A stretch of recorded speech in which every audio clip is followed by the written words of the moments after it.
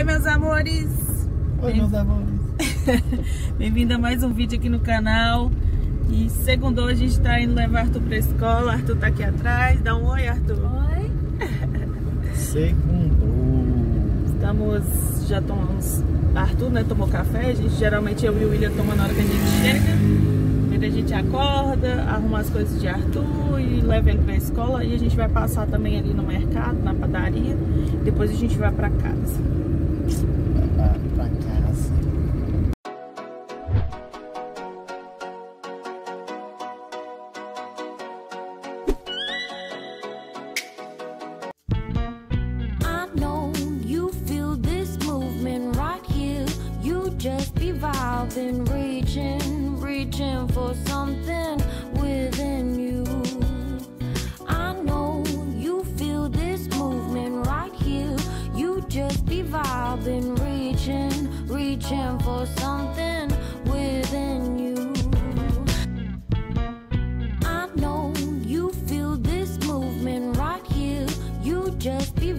Evolving, reaching, reaching for something within you. I know you feel this movement right here. Chegamos em casa, galera, eu e o William. O William tá ali fora, que eu acho que ele vai lavar ali na frente. É, a gente acabou que nem, nem vai lanchar aqui, porque a gente passou no mercado, comprou algumas coisinhas. Geralmente a gente deixa Arthur, vem pra casa, lancha aqui em casa, né? Que a gente lancha depois que chega. Aí comprei algumas coisinhas que estavam faltando, porque a gente faz compra mesmo assim não tem jeito, né? Falta as coisas durante a semana, durante- durante o mês. Vou fazer o almoço. é, Almoço não, uma carne, né? E uma cenourinha, porque já tem arroz pronto, igual eu falei pra vocês. Geralmente eu faço comida que dá pra dois dias. Vou mostrar pra vocês aqui o que eu comprei e, e mostrar fazendo a carne ali, o que, que eu vou fazer de almoço hoje. E depois a gente vai buscar Arthur. Comprei laranja, porque Arthur adora laranja, gente. Depois do almoço da gente sempre tem que ter laranja. Ou então uma sobremesa. Sempre. Não tem sobremesa, é, chupa laranja, que é o que ele mais gosta. Comprei esses iogurtezinhos, sabe, pra ele levar pra escola. Ele adora esses iogurtes. Aí eu mando pra escola. Comprei uns bolinhos de morango pra ele. Sendo que esses aqui, gente, Arthur não pode com a corante artificial, mas eles é, são corantes naturais, tá? Dizendo aqui na embalagem, mas eu sempre compro, nunca deu nada, graças a Deus. Comprei um creme de leite, porque amanhã eu vou fazer um mousse, aí vou postar aqui. Acho que amanhã eu faço um mousse. Durepox, porque a pia ali da, da cozinha tá vazando. E aí o William vai arrumar. Comprei uma coquinha, né? Porque a gente toma mais é suco natural, mas o William quis uma coquinha. E comprei os leites pra fazer o mousse e depois bater um bolo. E pão, né? Só que o pão a gente nem vai comer agora, porque a gente já, já passou ali no mercado e tinha saído umas coxinhas, uns enroladinhos. E aí a gente acabou comendo por lá. É... Vou fazer uma carne aqui agora pra almoço, a gente, assim, pra quem não gosta de comprar carne é, a vácuo, eu sempre, eu e o William, a gente sempre teve trauma com carne a vácuo. Por quê? A gente compra uma vez e a gente só compra no mercado que é na outra cidade. E é tipo uma meia hora daqui, uns 40 minutos, meia hora, 40 minutos daqui.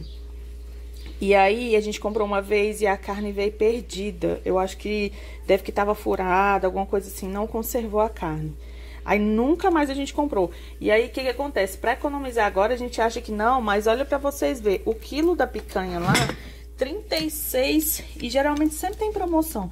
36,98. Esse aqui é um pedaço grande, dá pra gente comer uns três dias mais ou menos, porque eu aço e não desperdiço nada, nada. E dá uns três dias mais ou menos. Aí quando eu coloco pra assar, a gente come ela uns três dias. Porque às vezes a gente não janta, às vezes a gente lancha, às vezes é, Arthur também às vezes não come, alguma coisa assim. Mas aí, mas mesmo comendo dá pra três dias. Ó, paguei 36. Eu vou tirar elas aqui, vou preparar, vou colocar pra assar agora. E, é, agora são 15 para as 9 da manhã. E aí ela vai ficar assando até a gente buscar Arthur na escola. Quando a gente for descer, eu desligo o forno. E ó, pra vocês verem, gente, compensa bastante. É, pelo menos essa daqui eu tive sorte, não tive problema nenhum. E, e aqui o quilo na cidade, é, no mercado normal, tá 40 e poucos, quase 50 reais. Esse aqui tá 36. E esses dias a gente até passou na frente do mercado, porque a gente não costuma mais fazer entrega igual antes dos adesivos. Depois eu vou falar sobre os adesivos. É, tava 33 o quilo, pra vocês verem que compensa. Aí, vou colocar agora pra... Vou temperar, colocar pra assar, vou guardar as coisas ali. Daqui a pouco eu venho mostrando pra vocês. Vamos ver o que, que o doutor William tá fazendo. O doutor William tá aqui lavando. Tá só poeira, né, amor? Só poeira, só sujeira. Não para de ventar. Eu tô dando um grau aqui. dando grau, o bebezão tá ali. O bebezão é o C4. e a gente leva Arthur durante a semana no fitão. O fitão tá ali atrás também. E, e final de semana a gente usa o carro. A gasolina, sete conto, eu vou te falar, bicho, não dá não, né? É melhor o bichinho ficar guardadinho aqui, quietinho mesmo. Bom que, é bom que não desgasta. Só pra olhar. Meu amor. Só pra olhar. Ai, ai, vou ali arrumar a carne, colocar ela pra assar.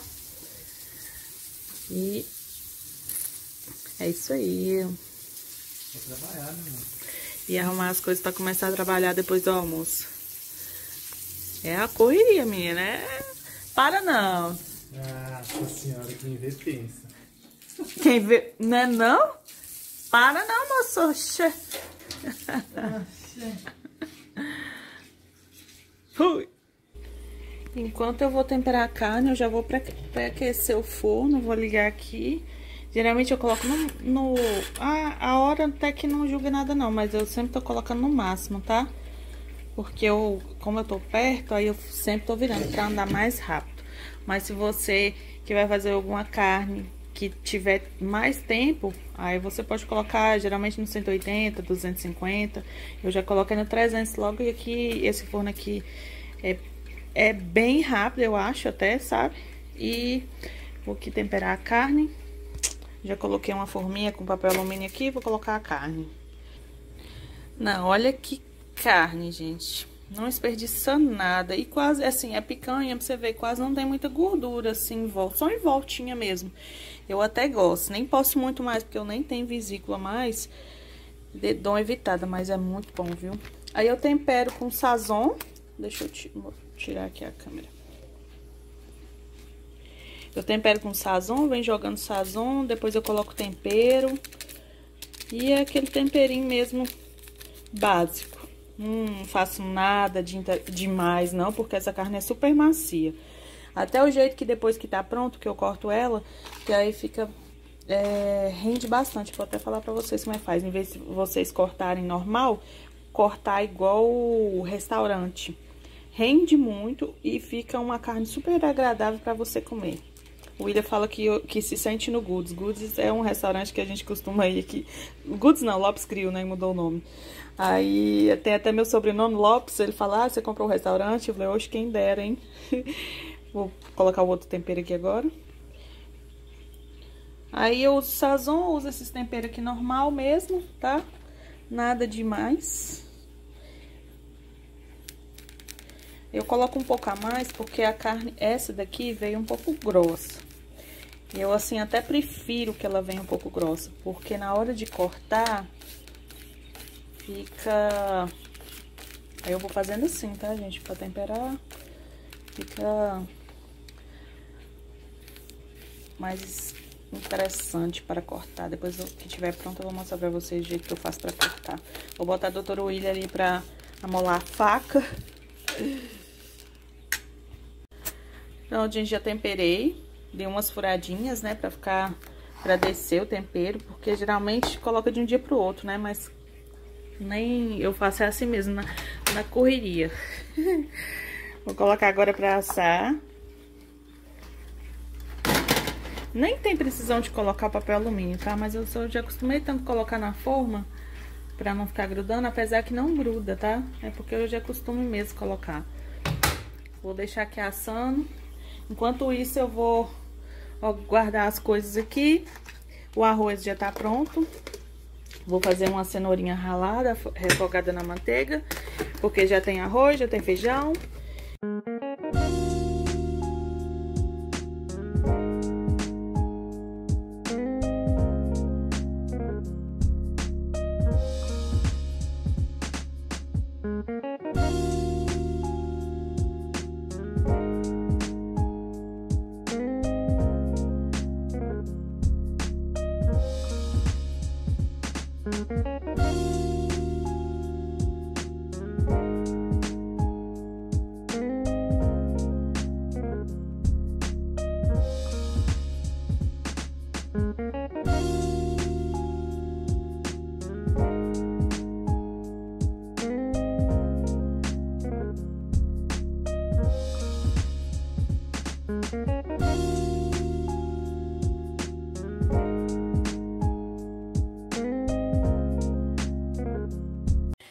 Chegamos agora, Arthur acabou de tirar o tênis. Né, Arthur? Agora a gente vai fazer o quê? Tomar um banho. Tomar banho Almoçar. e almoçar. Chegamos em casa agora, né? Acabamos de buscar Arthur. Carninha tá pronta, vou dar uma viradinha nela. Se caso... Se caso tiver muito seca, essa aqui até que ainda tem um caldinho. Mas você pode virar, né? Porque passo, deixei um pouquinho a mais. Mas você pode virar e colocar um pouquinho de água, assim, só pra dar um caldinho, porque a gente vai cortar ela agora. Vou cortar ela. E aí, esse caldinho que desce da água... Oh, tem... esse caldinho, esse caldinho que desce da carne, a gente vai usar ele pra jogar em cima da carne. Aí, galera, eu, eu coloquei a, a carne aqui. E aí eu vou fazer igual o Lopes Grill, igual, igual o restaurante. Eu vou vir cortando ela assim, vou ver se a faga tá boa, né? Senão tem que pedir doutor William pra cortar. Ah, não. Vamos A, lá. a mola. Hoje eu tô bugando o rolê. Sai daí, amor. Ó, tá vendo que ela fica bem seca? Aí depois aquele, aquela aguinha que eu joguei em cima da água, se não tivesse secar muito, você vem e vai jogar nela toda, tá? Ela vai ficar molhadinha. A faca tem que estar boa. Mas tá, isso aqui tá. Se não der a de serrinha, por ela tá dura, um pouco dura, também dá, tá vendo? Aí eu vou cortando assim. Gente, rende muito, rende tanto. Não é nem questão de render. Além de ficar agradável pra você comer, rende. Em vez de você cortar assim, igual o normal é, né? Você cortar fatia por fatia, você vem cortando desse jeito. Dá um pouquinho mais de trabalho? Dá mais trabalho. Mas fica melhor, fica mais agradável e o prato ainda fica bonito. Se você quiser fazer uma recepção aí na sua casa, fica bem bacana. Melhor do que deixar os pedaços inteiros. E aí você pode usar um molho também, molho madeira, esses molhos que a gente coloca por cima, né? Aqui até então eu, eu, eu só uso o caldinho da carne mesmo. Porque é meio de semana e tal, e também porque Arthur ele já não gosta muito de carne. Eu corto bem pequenininho, sabe? Arthur ele não é chegado em carne. Ele- se for pra ele escolher entre uma carne e um ovo, ele prefere o ovo. Se for pra ele escolher entre uma linguiça e um ovo, ele prefere o ovo. Tudo ele prefere ovo. Eu não sei porque eu já vi relatos que muito autista gosta de ovo, né? Pra quem não sabe, relembrando, o Arthur ele é autista. Mas é, veio pra mudar nossa vida, né? Como eu sempre digo. Então vamos lá, vou cortando aqui. I know you feel this movement. Just be vibing, reaching, reaching for something within you. Aí, galera, depois que eu cortei tudo, eu venho colocando no recipiente que eu guardo na geladeira, tá? Já. Quando é dia de domingo, alguma coisa assim, que eu faço algum prato especial, aí eu coloco naquelas travessas de vidro, né? Mas caso contrário, no meio de semana eu coloco nessas de plástico mesmo. Que dá pra mim esquentar e dá pra mim guardar na geladeira, né? Já pra servir. Ó, co- cortei bem fina. Não é muito fina não, mas de um jeito que a pessoa já serve já diretamente no prato. Não precisa de cortar. Aqui, ó. E depois que eu coloco todas as, as carninhas, como diz o William, no, no recipiente, aí eu venho com aquele caldinho, gente, que ficou o resto da... Deixa eu ver se dá pra vocês verem aqui. Aqui, ó.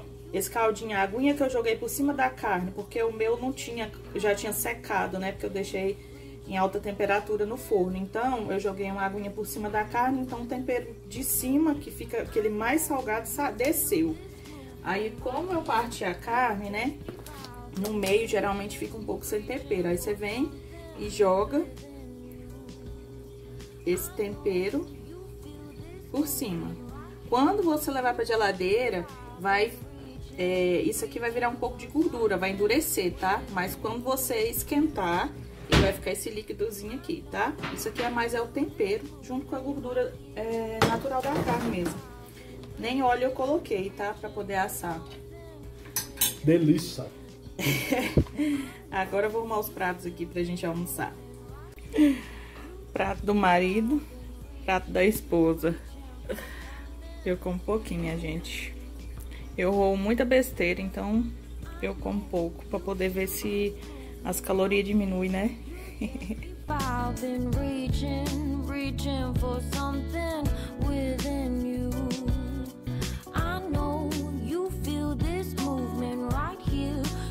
Just be vibing, reaching, reaching for something